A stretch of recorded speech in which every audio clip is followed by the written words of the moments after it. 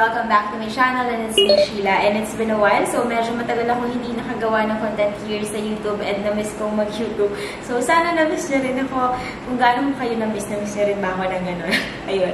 So, ayun guys. So, for today, kaya ako nandito because um, gusto kong i-share sa inyo yung recent discovery ko, which is this um, espresso machine. So, this is from the brand Kappa. It's a local brand, guys. So, it's uh, locally available. It's accessible to everyone. It's affordable and yet the quality is very good. So, ang ganda ng quality nito. Kaya, i-share ko siya sa inyo kasi natuwa talaga ako sa kanya. Hindi ako professional or hindi ako barista, pero ang bilis ko siyang natutunan. Sobrang dali lang talaga. As in, parang 15 minutes, parang, ay, okay, alam ko na siya gamitin. So, ayun guys. So, before you check them out, you have to watch or you have to finish my entire video kasi I'll be doing some demo. Uh, gagawin ko yung favorite coffee ko. So, ganun din kayo guys, if you have this machine sa house nyo, you can do or you can make your um, your favorite coffee at the comfort of your own home. So, ayan. So, let's start with the demo guys. So, the first thing that we will do, guys, is put water on the water tank. Yung water tank niya is at the back of the espresso machine. So, this is the water tank. There's an indicator of the water level na ilalagay mo, which is the minimum and the maximum level ng water. So, yan, let's put water so we can start uh, brewing already. So there are three buttons here guys and this is the on and off button. This one is the coffee and hot water operation. The last one is the steam operation button. So there, later mo na ipipress yan once you start uh, using this, uh, yung frother. So as you can see guys, the on and off button is, uh, meron pa siyang flashing light. So once nag-stop na siya, uh, the machine is ready to So, as you can see guys, hindi na siya nagpa-flash. So, it means it's ready to use. So, by the way, this one naman is the steam control knob. And this one is the stainless steel na Forta filter. So, ito-twist mo lang siyang ganyan. There. So, inside, ito na yung, this is where you put the ground coffee. There. Ayan. So, lalagyan natin siya. Magka-grind muna tayo ng coffee, guys. So, balik ko muna siya. Ayan. So, I also have here with me, guys, is the Kappa uh, blade grinder. So, this one is the transparent cover. You just have to twist it like that. Ito siya, guys. There. Ayan. So, this one is the removable bowl. There. Ayan. May indicator din siya ng coffee beans na ilalagay mo inside. So, there are uh, 2, 4, 8, and 12. So, this one is the start um, button or yung on and off button niya. And then, this one naman is the yung grind selector control ng um, if you wanted coarse or fine. So, twist mo lang siya ng ganyan. And then, this one is the cup slider control. There. Ayan siya. So, by the way guys, yung cord pala niya is retractable. So, kanina nakalock siya. So, hindi mo siya mahahatak. So, once you twist it like that, ayan, pwede mo na siyang hilahin. So, since it's a retractable, easier kasi mas hindi siya messy when you store it sa mga ano cabinet.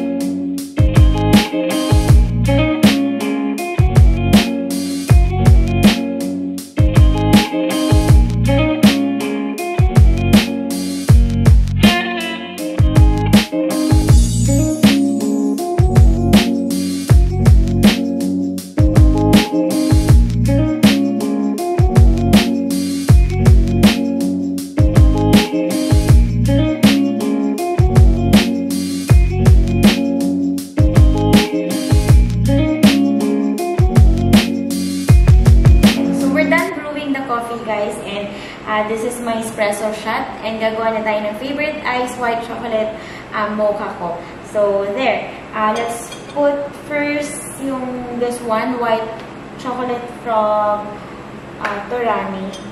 So, ako one pump lang kasi ayoko na masyadong matamis. There.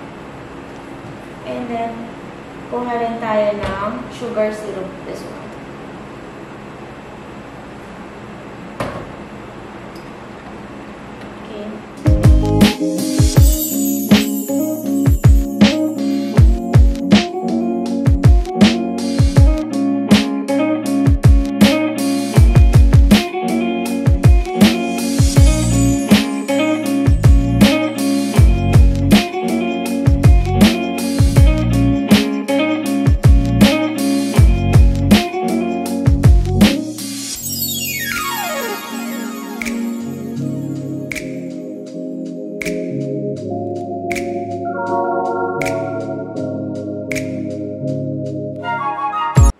So, gagawa naman tayo ng hot coffee, guys. And ang ko is hot white chocolate latte.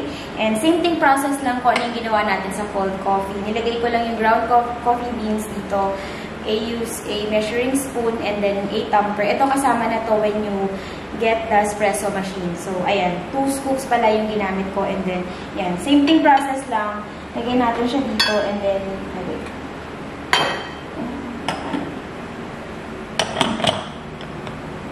There. Lock mo lang siya. Pag twist mo, guys, nakalock na yon So, try mo yan.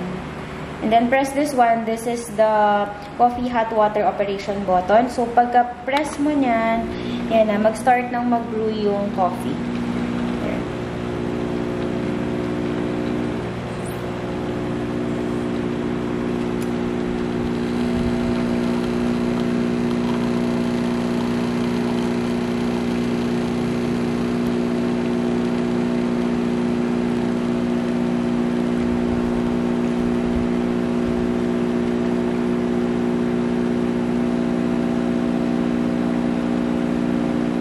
Yan. So, tapos na mag-brew yung coffee natin, guys. Ito na siya. And then, magagawa na tayo ng froth using the frother. But first, ito muna tayo. This is the steam operation button. You have to press the button. And then, as you can see, guys, di ba, flashing light pa siya. So, same thing with the machine. Hintayin mo siya mag-stop para magamit mo yung frother. So, as you can see guys, di ba wala na siyang flashing light. So, it means it's ready to use. Nakikita nyo na rin na medyo parang meron na siyang uh, nag-steam dyan. So, gamitin na natin yung frother guys. This is the steam control knob. Ikaw, adjust mo na lang on your preference. So, as you can see, yan. There. If done, just have to twist it like that. So, there.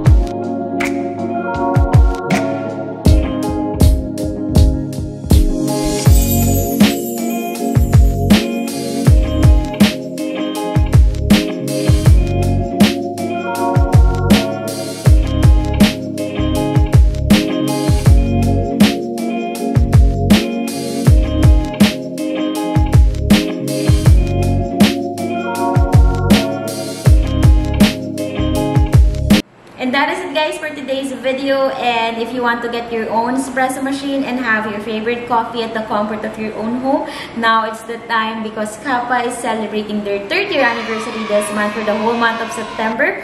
Meron silang 30% off on selected items and um, makikita nyo dun sa website nila. You can check their website. You can check also their Shopee account and Lazada. Makikita nyo dun kung ano yung mga sale na products or items nila. And also guys, you can use my voucher code which I'll be flashing here on the screen. You can use that code para meron kayong additional discount. So, ayun guys. So, ano pa ba? May nakalimutan pa ba ako? And yun, don't forget to follow their social media account which Instagram, here, I'll be putting it here, their Facebook account, and their TikTok account. So, ayun lang guys for today's video and I'll hope to see you on my next one. Bye!